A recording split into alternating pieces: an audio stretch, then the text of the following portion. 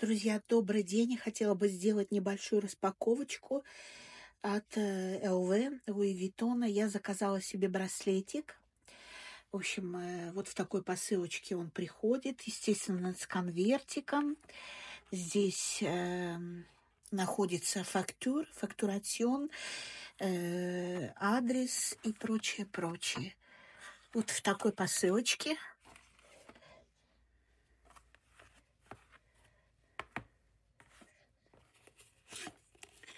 Очень тяжело открывать и держать.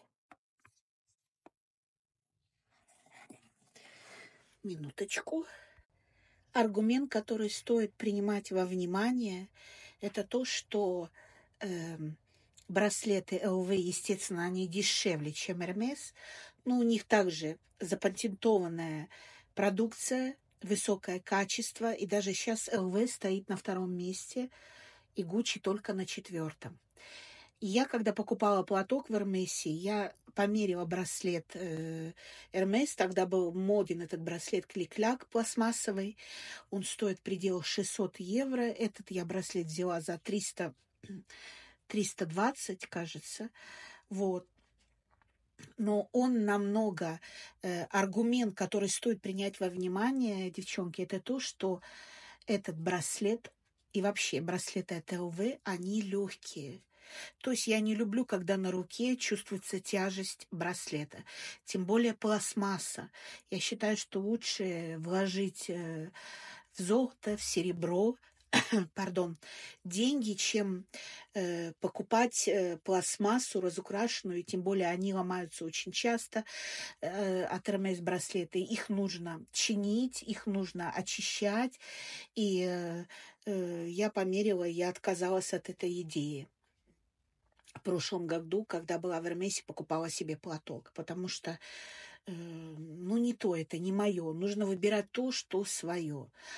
А новый браслет от ЛВ, вот этот, который я купила, он очень легок, он очень хорош на весенний и летний период, он удобен в ношении. Вот, естественно, не плавать в бассейне с хлоркой. И э, просто приятно носить, потому что я его практически не чувствую на своей руке. Здесь код идентификации, как вы видите, написано Cure Devo и вот такой браслетик. Естественно, заклеено все на весенне-летний период.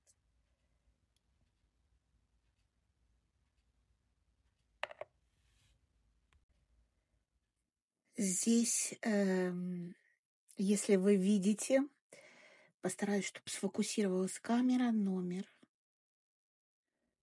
номер идентификации, то есть каждый про продукт у них запатентован. Вот, надеюсь, что видно. Здесь номер. То есть это не реплика и не подделка. Я заказала э, вчера, и браслет за день дошел.